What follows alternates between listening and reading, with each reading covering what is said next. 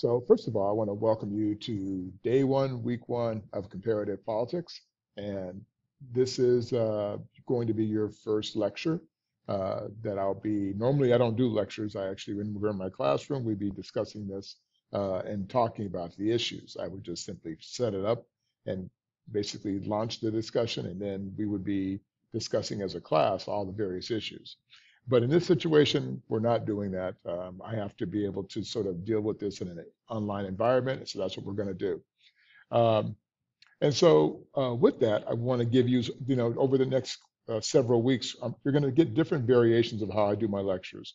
Sometimes you'll see it like this, where I will always start off with an introduction, like you'll see me.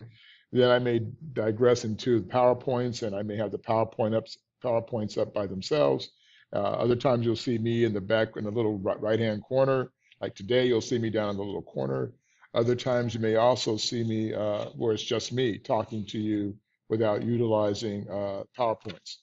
Uh, but I'm going to try different things and I might vary from week to week. Uh, but just to get your feet wet, uh, we're going to jump into this and have our first lecture. So without further ado, I want to welcome you to chapter one. And chapter one really looks at a pretty interesting question. And that question is, first of all, what is comparative politics? And then secondly, why do we study it? What's the importance of looking at, why do we compare things? What's the importance of comparing things, uh, whether it be regarding our class, which is politics, or even other things? Uh, and if you ask yourself that question, there are some very, very interesting answers that come to that. And so uh, one of the things you might find, for example, if you were comparing, like when you go to buy clothes, right? Uh, what do you compare? What do you look at, right? What is the quality? Is it the cut? Is it the, how they look on your body? Or if you go to buy groceries or go to buy food, how do you compare whether you buy one item or the next item? You know, is it because of the quality of the food or the, brand?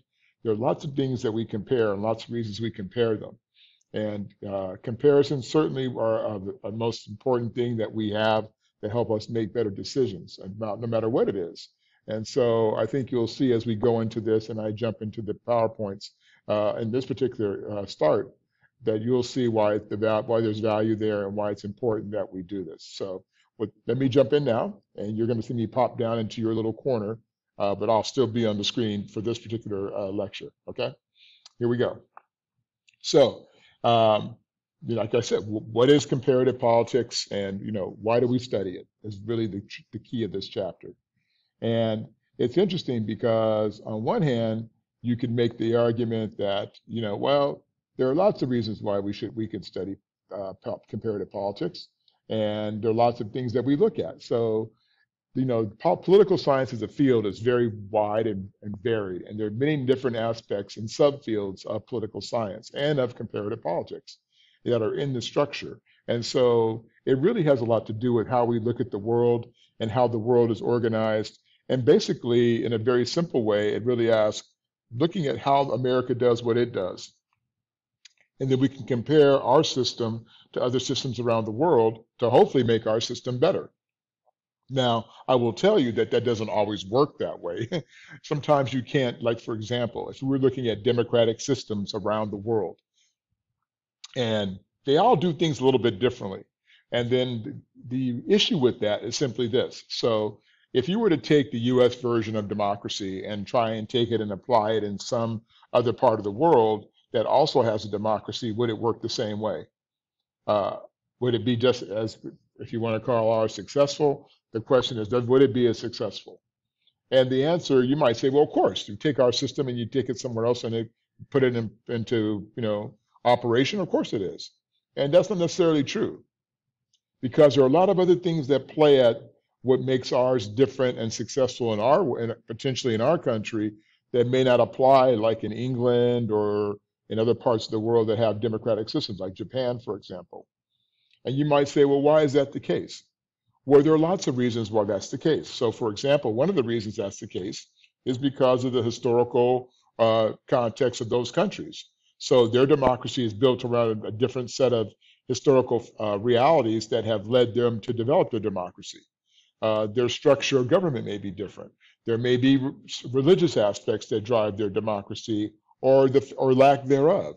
Uh, there certainly could be cultural aspects. you know, with all the different aspects. Some some countries are much more homogenous than we are, uh, meaning that they may, like for example, Japan is mostly Japanese folks. And if you look at America, we're a really diverse population of people, which brings along a whole other set of issues and things that people have to deal with that other countries may not have to deal with. There certainly are resource issues, there are economic issues that are also at play in these systems in terms of the success or failure of their of their of their systems. So when you compare them, you can't just say that well one size fits all. And so I think that's really the beauty of it, but it also begs us to recognize that political science in and of itself is in the comparative politics recognizes that politics is constantly changing. And because it constantly changes means we have to be able to sort of step back and change with it. Does that make sense? Okay, I'm assuming you answered yes. So let's continue on. So this shows you some pictures of various, some of the famous uh, residences of, uh, of the seats of government of, of the world. Obviously on the left is the White House. Um, if you look at the middle, uh, that is the Japanese palace. And then to the right uh, is the uh, royal palace in Spain. Uh, this is just a couple of examples of the fancy houses of government that uh, reside for the leaders. Uh, here on the left is in England, 10 Downing Street, which is their, their seat of government. And then on the right is uh, the seat of government for Iceland. Uh, pretty, pretty chill, pretty out in the middle of nowhere, cold as heck up there, but still, nonetheless, that's their place. Um, again, as I mentioned before, there are many subfields within political science. Uh, and even within those subfields, like American politics, international relations, political philosophy, so forth. There are various numerous aspects within them that even within the subfields that we can compare aspects of the subfields in terms of their correlation or connection to one another. And they're all tied together, so we can compare different things even within the subfields of political science. Uh, I would argue that the United Nations in and of itself is brings together the nexus of those comparative issues that we have and be able to look at the, you know, how democracies treat one another, act toward one another, or how non-democracies treat or act one another. So the, it's the, the two actually work sort of hand in hand with one another. So, you know, but this brings this international body brings us together to sort of develop an understanding uh, of the things that work that work well across the board and the things that don't. So in looking at like the United Nations, you might say when the United States and England are looking at their common practices or the things that make their system successful, we may be able to look across the board if you're it, trying to develop the, you know, looking at the United States and how we develop our democratic systems or how they evolve, you might say, well, there are common themes about how successful we are that are common to what, what, what leads to success in other political systems that are also democracies. Just like those that are non-democratic uh, you might say, well, we've also see the trends and what leads them to be non-democratic and be able to also assess those things. So it's really important that we're able to look through these various lenses to sort of look and understand how the world works and the things that potentially can lead us to success uh, to have better democratic systems that involve the people, right? Okay. Uh, this is just some of the great philosophers of history that you see here. They got all these great uh, these great philosophers uh, across different areas, and I'm not going to go through all of them. There's Thomas Hobbes on the left there, and got John Locke hanging out, and Rousseau. So you've got all these famous uh, political philosophers, and even these guys. The thing that's beautiful about what they did and what they do is to ask a very simple question. I remember when I was an undergrad going, oh, what do I want a political philosophy? What's so important about these old guys from two, three, five, six hundred years ago? What do I, what do I care about what they what they had to say? Here's why it's important. because what they're really looking at is human nature. And while they're looking at a snapshot in time, right, they don't have the, the ability to look two, three, four, five hundred years in the future to see where human beings, how they act. They do have the luxury, though, of being able to look at the snapshot of time they're living in and the environment they live in and then compare it to the past. So then the, the issue is how do we, when we're comparing the, the ideas of what these individuals say, it, it asks this one simple question. Are there commonalities in our human nature that have that we that resonate uh, through from time from 2,000 years ago with Aristotle all the way up to today that we can assess about human beings and their action or reaction to certain events that happen in history. And being able to do that allows us to be able to sort of future cast and look at what the future might look like because there are certain things that are possible or endemic, I should say, to human nature that will drive how we see the world in the future. Okay. And so that's why I've learned to appreciate these guys. Um, not the haircut so much, but I appreciate these guys. Uh, not the clothing either, by the way.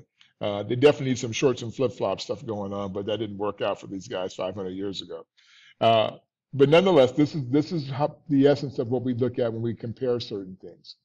Now I'm going to jump ahead here because um, some of the things that we look at when we when we talk about additional subfields within political science, look at political economics, look at political public policy, and political psychology. There are also subfields. And again, we can basically do comparative analysis across various types of economic systems. So if you look at that first one, you see up here, they talk about capitalism, socialism, communism, fascism. And we're talking about the economic aspects, right? The economic theories behind these, these uh, systems. And so we can look and say, okay, so based on looking at the political economics theories, what you know that either lead to success or failure of the economic systems of these various countries what can we learn from that right what can we learn from these that tell us the story and what, what, what do we have in common and what do we have that's different in those systems. Same thing applies in public policy. Uh, we could also explore the same various aspects of political institutions that exist within states and how they operate uh, effectively and what leads to, and, and compare those across various systems. So that's basically the essence of understanding the importance of the various subfields when we look at them. So again, here's an example of the subfields within political science. You can see at the top political philosophy, then around the circle, you see all the various other groups that are there, including American politics, international relations, comparative, you have research methods, models, and so forth. Uh, and these are all the primary subfields that currently exist today. So when we talk about looking from the historical uh, factors, one of the things that we look at is like, how did this all come to be? You know, where did, where did the idea of comparative politics originate? And it originates with uh, a really cool dude named Aristotle. Now, Aristotle is considered the founding father of political science in the context of he's the first person to take the idea, the ideas of Plato, who was who was his teacher, and Plato wrote, wrote a very famous book called The Republic. And then Aristotle, who was his student, basically took Plato's his foundational thoughts about the idea of politics and then he's the first person to sort of classify different types of systems of governance and place them into positive and negative categories. As a matter of fact, Aristotle looked at democracy as being one of the negative forms of government uh, because he said that the negative forms served the, the rulers or the ruler, and the positive forms served the people. And he said that democracy basically was self serving and served to separate and divide people. Uh, so he did not like democracy. Ironically, it is the core of most of the of the modern world is based on democratic principles. At least that's what we like to think. Um, so anyhow, this is sort of the historical basis of this, and and he's the first person to very to compare various types of systems and sort of look at you know the associative problems that exist between each of within each of those systems. Okay. Um, and then here's some of the, the noted, uh, these noted, these guys are the, are the comparative theorists who basically lay out the, the notions of how we go about comparing and the, and the reasons that we compare various political systems. Uh, and so, um, as you can see, one of them said, O'Neill said, comparative politics is a study in comparison of politics across countries. Uh, O'Neill also in 2004 said that politics is the struggle in any group uh, in any group for power that will give a person or people the ability to make decisions for the larger group.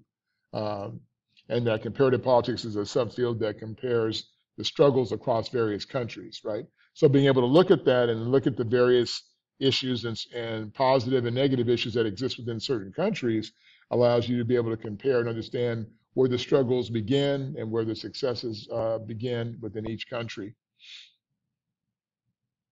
Okay. So again, so you can look at the various uh, institutional constructs. So when you look at comparative uh, politics and comparative studies, again, we're looking inside each, each particular country and assessing various structural aspects of it. So looking at their political systems, looking at their the norms within within their societies and the values that they have and how they actually work or either lead to success or failure of their democratic systems or even their non-democratic systems.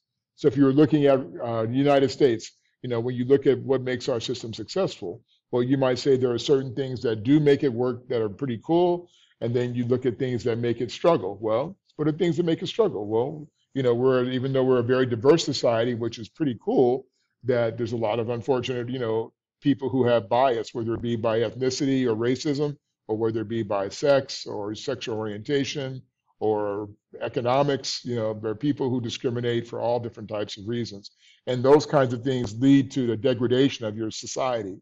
Uh, however, you know, recognizing how much that impacts the success or failure of our democracy is what we re, what we be looking at in this particular aspect.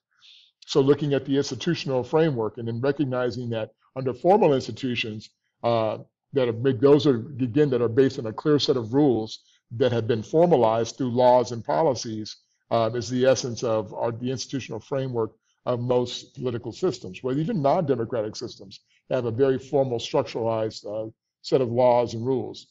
And then we also have what we call informal institutions, and those informal institutions are basically those that are kind of flying by the seat of their plant, uh, pants. They're, they're not written in stone, uh, but they may have historical precedents. So sometimes you have things that have been done a certain way over a long period of time, and that then they so they become sort of formalized, even if they're not completely, even if they're not written in law. Um, so they may not be formalized, but they're usually formalized in some way because they have historical precedent. And pre- historical precedent means it's kind of like I said, they've been doing it this way all along for decades and decades, so it sort of becomes sort of institutionalized. Um, and then you have your political institutions, which again are the structures within a political system and how the political decision making takes place, um, how the structure of politics is set up in those countries, and so forth. Okay.